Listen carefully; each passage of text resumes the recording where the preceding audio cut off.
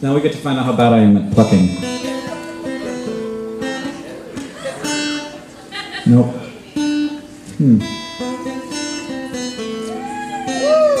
Nope.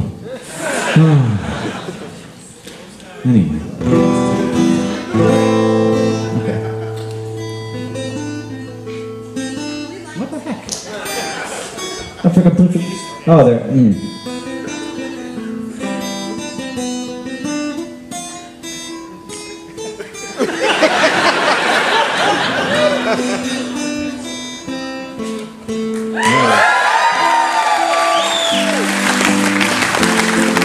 I've never messed that up before. This is was an entirely new experience. Like I, can, I usually play it badly, but not just completely wrong. The song about Tetris. There have been a lot of bad guys in a lot of good video games. Bounce around your opponent in Pong, the Pac-Man, Ghosts, and Donkey Kong. But one bad guy, he stands alone. He will never tire. There on his blocky throne, and he'll be there till you die. Well, your fingers, they may move with blinding speed. There may be no game match you can't beat. But can't you see that no one can defeat the man who throws that Tetris piece so higher, higher? No straight piece. Waiting, praying, oh, this time, please.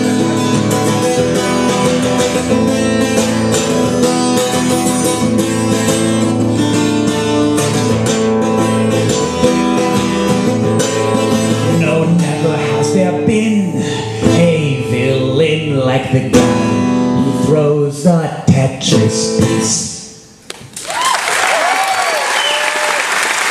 So I spent a fair amount of my time addicted to Tetris growing up. Um, and now I spend that same amount of time addicted to Flappy Bird. I'm not saying that I've grown up at all.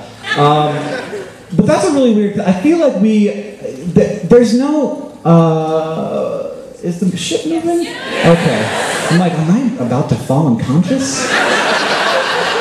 Um, okay, thanks. thanks for confirming. Okay. Um, I. Uh, what are they talking about? Stupid boat. Yeah, yeah. Uh, I think that I think that we all we we're there's no way to escape addiction in some way. Like you can escape. I don't I don't mean that there's like once you're addicted to heroin you can never escape it. Uh, that is true in in some ways biologically, but. Uh,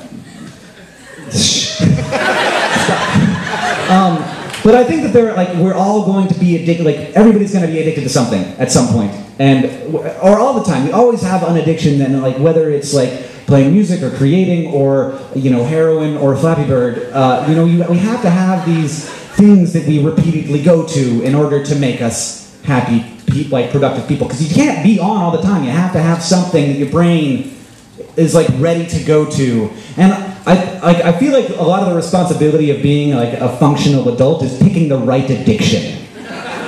You know, like being able to. So I, like that's that's like he was saying art is mandatory. I'm like, well, if you can, but mostly just try to be addicted. Like be like being addicted to creating is fantastic. Like if you if you have that moment where otherwise you just like sort of fall to Flappy Bird, you're like, well, I'm not doing anything. Flappy Bird. I'm not doing anything. Watch TV. Uh, if you have that, if you can have that occasionally, go, I'm not doing anything. Make something. That's wonderful.